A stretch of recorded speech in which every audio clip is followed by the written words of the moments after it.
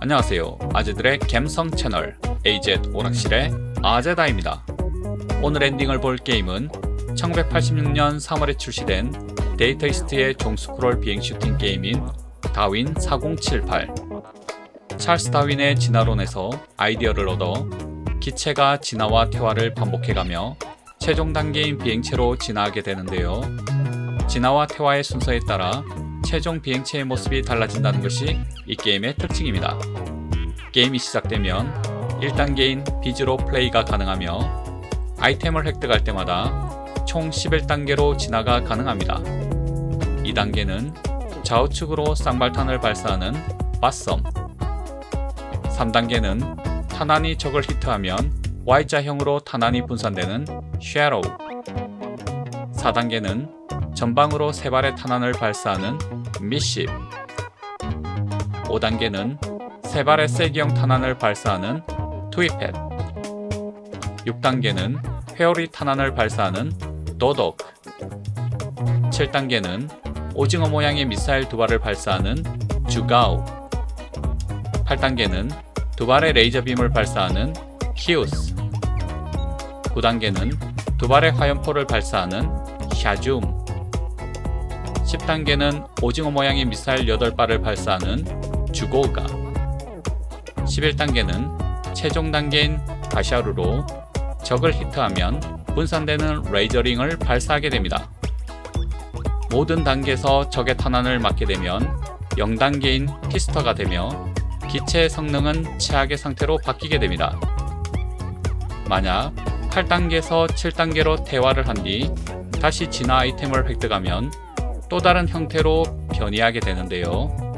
변이 8단계는 전자기 화염탄을 발사하는 미사 변이 9단계는 원형 탄환을 발사하는 말토 변이 10단계는 두 발의 긴 레이저빔을 발사하는 시스 변이 11단계는 최종 단계인 딤으로 진화하게 되는데 양쪽에 스파크가 발생하는 원형 탄환을 사용하게 됩니다.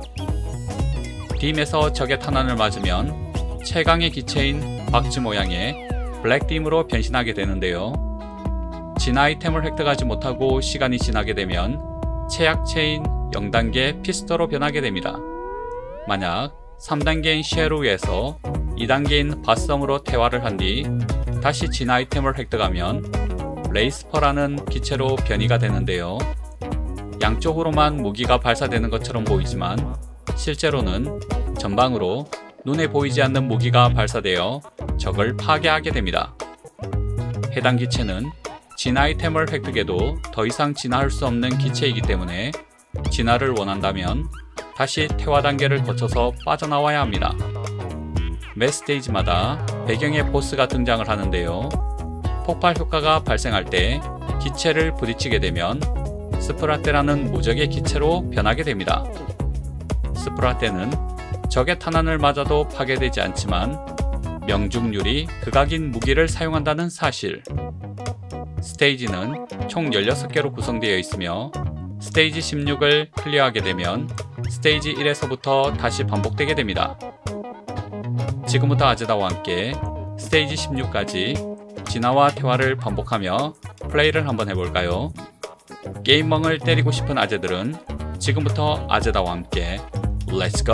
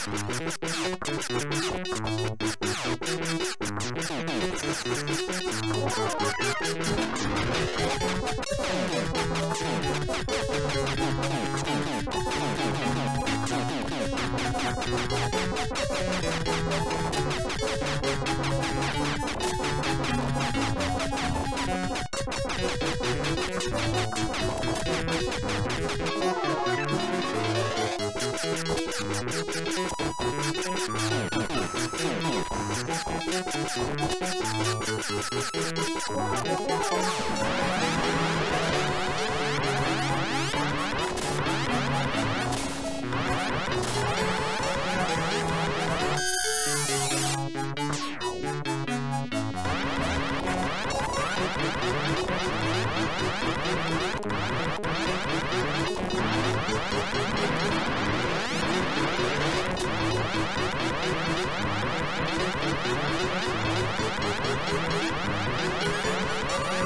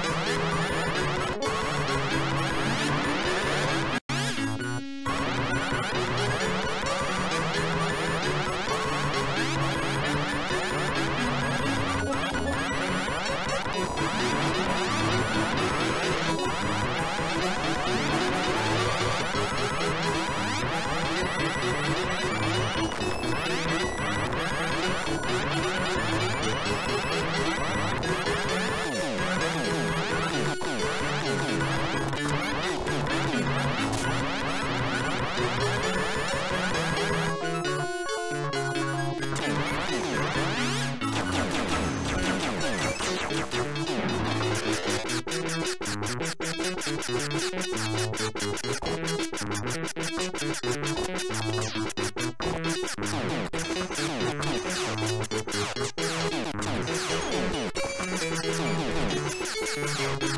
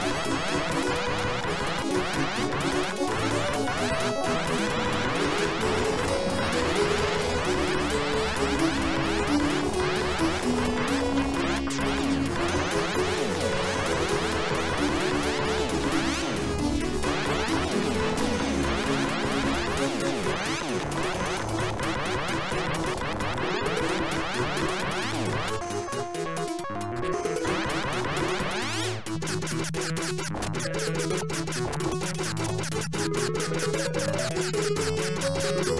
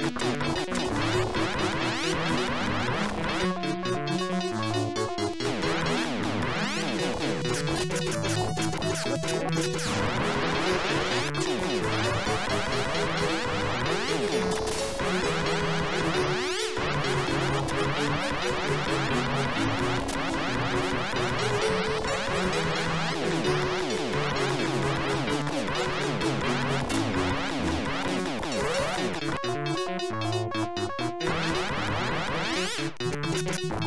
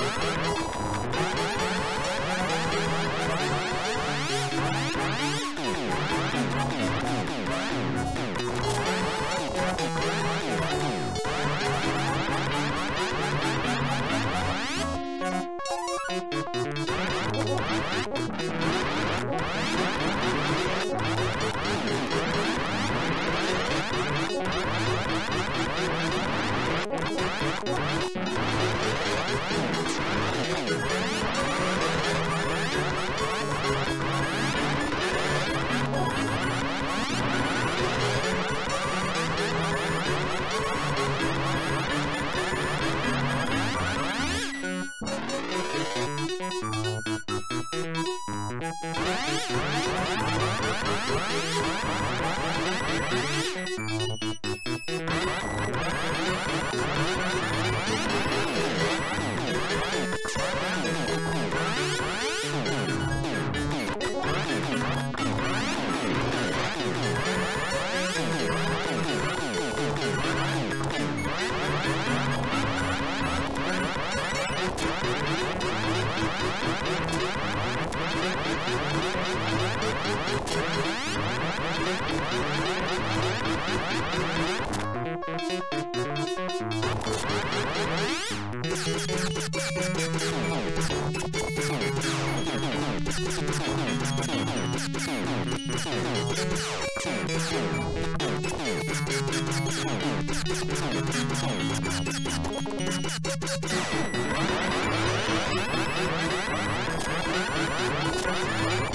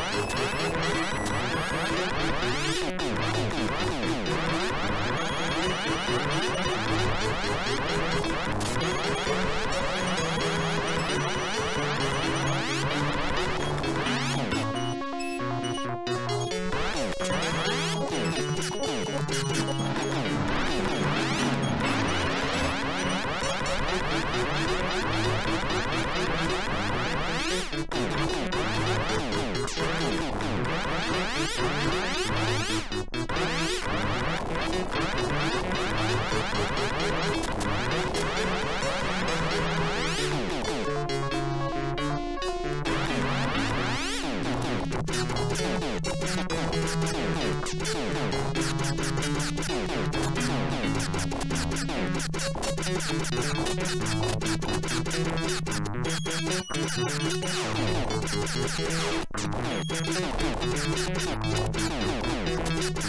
you.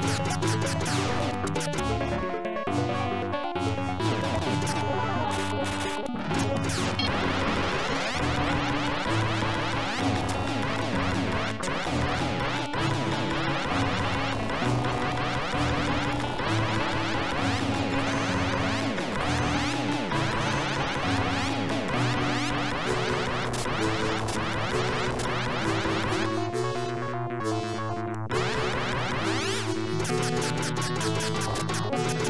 go.